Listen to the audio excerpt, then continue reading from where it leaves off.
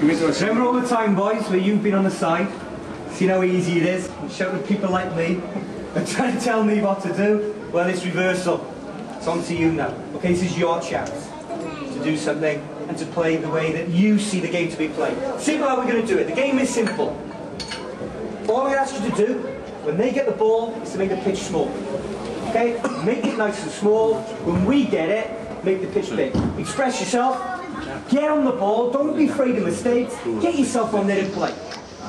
Make sure then you pass it. Try and keep to a blue shirt. When they get the ball, get yourself back into the shape. You all understand your shape? Yeah. Get yourself back into that shape. If you give the ball away, what do you do? Put it back. From a positive, okay? If it's a negative, bring it back to a positive, get yourself back and win it or get into your shape. First and foremost, go and enjoy yourself. Smile on your face, enjoy it. Remember, you're wearing that jersey. All the time you're giving people like me a little bit of stick from the side and other people a little bit of stick. All the things that you demand is effort. That's all you do. You pay your money, when you support it, you turn up at the stadium, you pay your hard-earned money after work and Monday, Friday, you expect 100%. That's all we expect today.